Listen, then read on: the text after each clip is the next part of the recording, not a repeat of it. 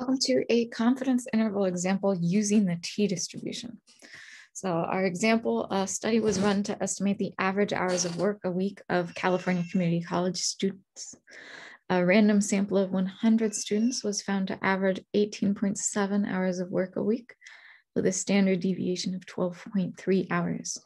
Find the 95% confidence interval. So here's essentially what we're trying to do. So this is an estimation problem. So this is going to be confidence interval. We also have it right here. So we know that we are doing a confidence interval.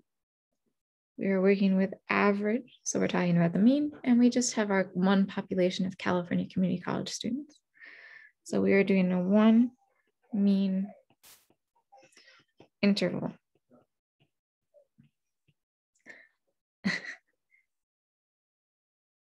Um, from here, looking through all of the information we have, we have our random sample of 100 students. And that sample was found to average 18.7 hours. And the sample had a standard deviation of 12.3 hours. So this entire sentence, we're talking about the sample. That standard deviation is the sample standard deviation. So we have our random sample.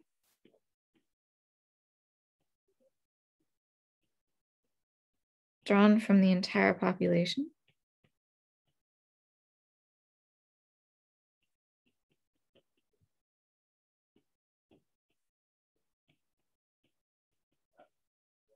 We have n is 100.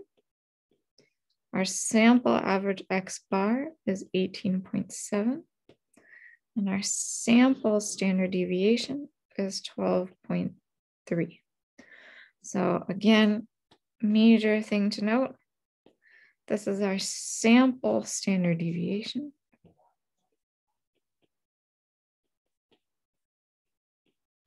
This means that we should not be working with the z distribution, we will be working with the t distribution.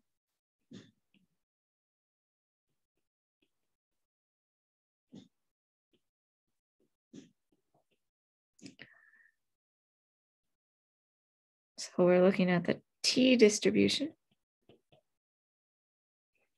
And uh, we're doing 95% confidence.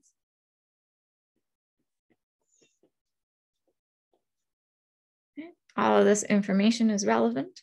Uh, the main difference from this and the example we did previously is just that we will be doing the t distribution since we only know the sample standard deviation. So here we need to justify the study was well run. Um, we already did it's random and drawn from the entire population. Sounds like I need to pause and come back. And continuing on, we have our justification. So we have that we have our random sample, we have our good sampling technique.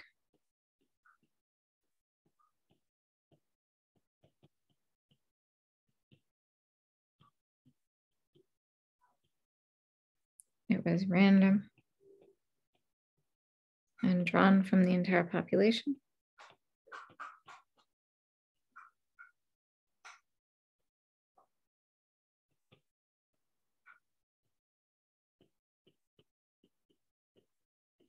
Then we have our normality of the X bar distribution.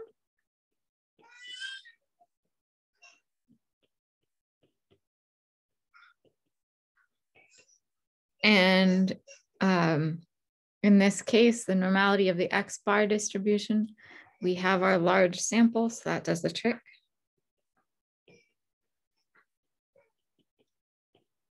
So this is 30 or larger. So we meet our conditions. Uh, so giving myself a little more space. Uh, we can run uh, the confidence interval.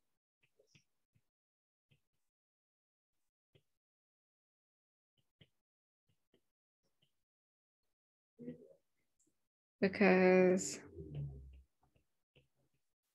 they used a good sampling technique.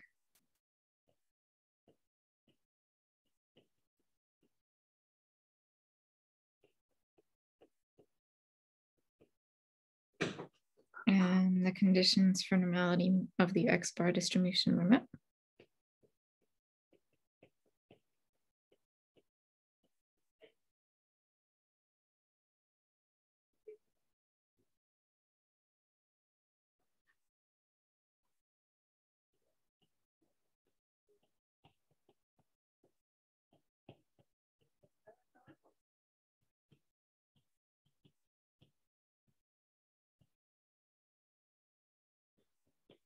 And we will use the t distribution because we only know the sample standard deviation.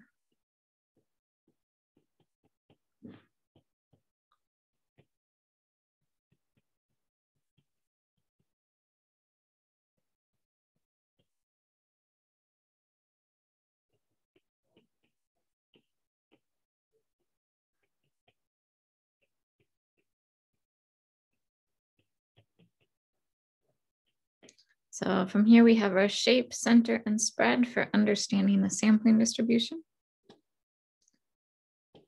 So for shape, we have that it's normal.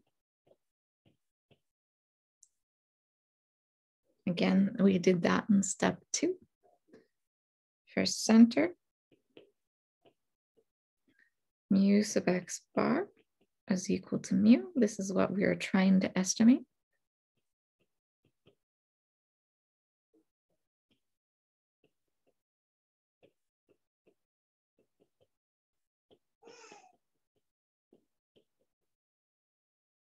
Then we have spread. We would like to use sigma sub x bar equals sigma divided by the square root of n. Unfortunately, we do not know uh, sigma.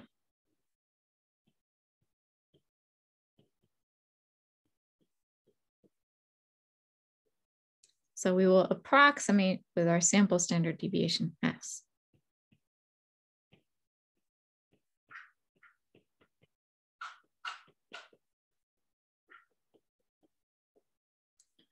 So the symbol I use is not an official symbol. I just use S sub X bar just to indicate that we are using S instead.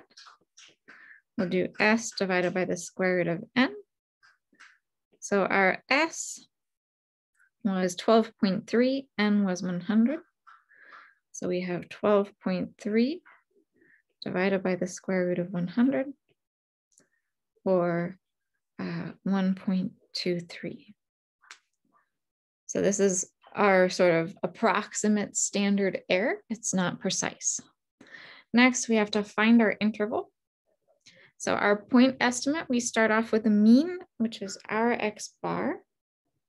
So X bar was 18.7.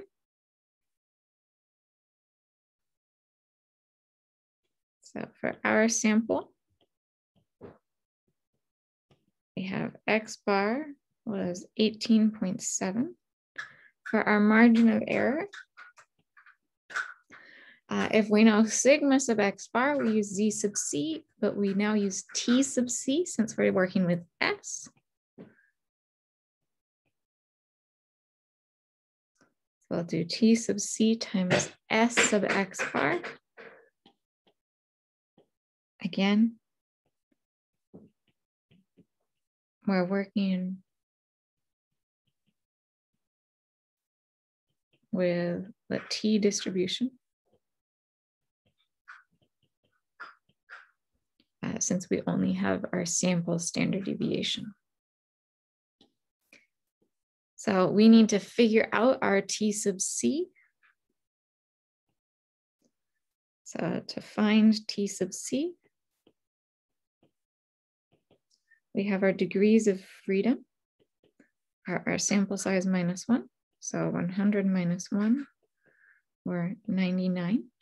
we need to have our central probability.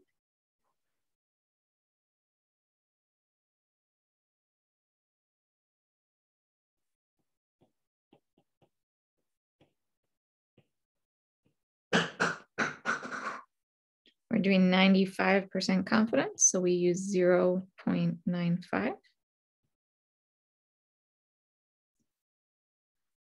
If we go over to our inverse t distribution calculator,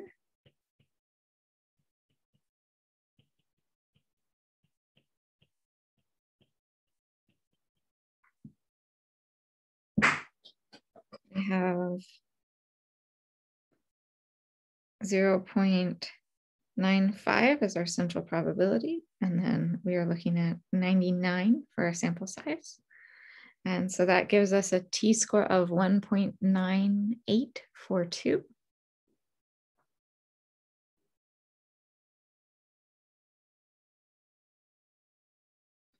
Um,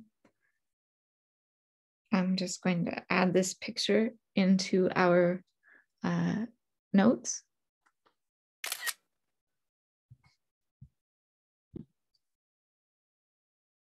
So here is the uh, image we were working with. So this is our uh, T sub C is 1.9842. So that means that our margin of error, we are looking at 1.9842 times our S sub X bar. S sub X bar was 1.23.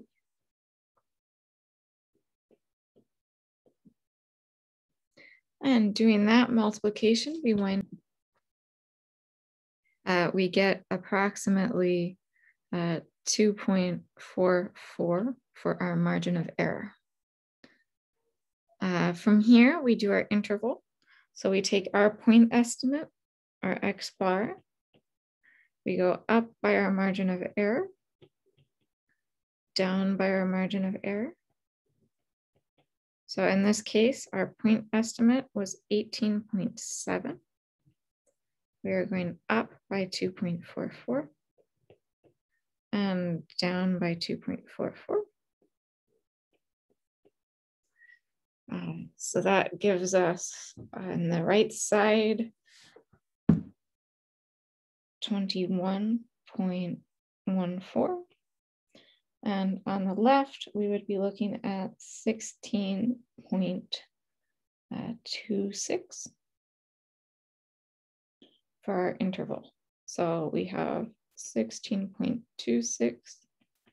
to 21.14 hours.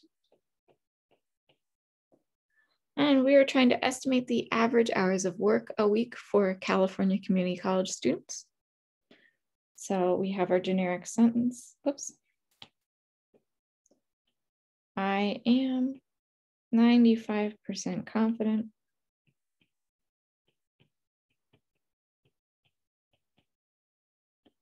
that the average hours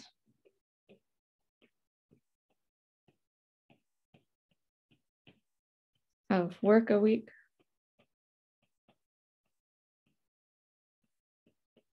for California community college students.